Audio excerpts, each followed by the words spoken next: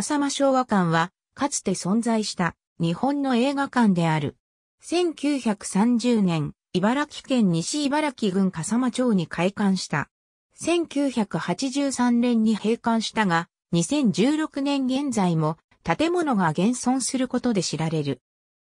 映画出張成績記録の表紙。1930年、茨城県西茨城郡笠間町荒町、笠間稲荷神社の門前町として栄える地に開館した。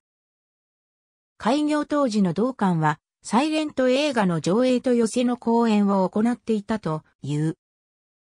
創業時の経営者は、笠間焼の窯元として知られる田中智三郎であった。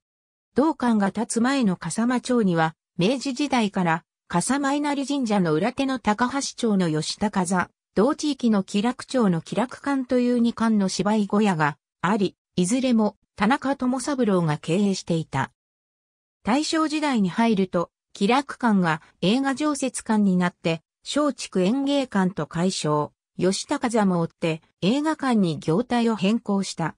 1925年に発行された日本映画年間大賞13.4年によれば、当時、松竹演芸館は、松竹キネマ、吉高沢、日活の作品をそれぞれ上映したと記載されている。1927年に発行された日本映画事業総覧昭和2年版には、吉高座の他に、関口すぐえ門が経営する電気館が同地の映画館として加わっており、電気館の営業担当として吉高座の支配人、細川影寺の名が記してある。同館が立つ直前、1929年の同町内の映画館は3館あり、吉高座が日活、電気館が松竹キネマ、笠間園芸館がフリーブッキングと住み分けられ、経営者も吉高座が細川影寺、電気館が高国昇る、笠間園芸館が国母鎮山がそれぞれ務めた記録が残っている。1934年3月、吉高座が火災により消失、同年12月には校長大火が起きて、同館も消失し、休館を余儀なくされる。同館では当時、近隣の街道等での出張映写を行っており、火災によって常設設備を失ってからも、日活、松竹キネマの作品をもって出張映写していたという記録が残っている。その後、吉高座は復興することはなかったが、同館は大火から3年後の1937年、荒町北と呼ばれた現在地に移転して、新築、再開館した。同地は、かつて1930年11月17日まで営業していた笠間神社軌道の終点駅の跡地であった。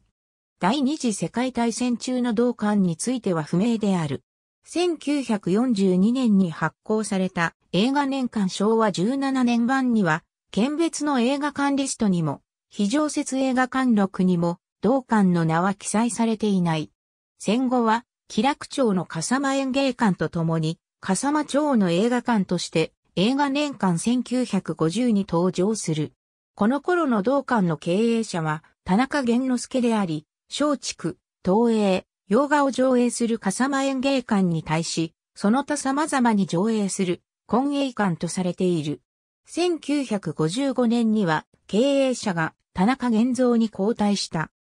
笠間園芸館は1960年頃には笠間宝塚と解消し、東方作品の上映館になり、1960年代後半には閉館しており、同じ頃、同館の支配人が田中源三の兼務から田中澄子の専任になっている。同館は、その後、同市内の唯一の映画館として、日本映画も外国映画も上映する映画館として営業を続けた。1983年、閉館する。2011年東日本大震災の影響で建物は倒壊する。2013年の時点で同館の建物は現存しているが老朽化しているため2016年6月時点で少しずつ解体作業が行われている。同館の閉館後、同市内の映画館はしばらく存在しなかったが、1998年4月18日に開店した笠間ショッピングセンターポレポレシティ内に新たに笠間ポレポレホールが開業した。ありがとうございます。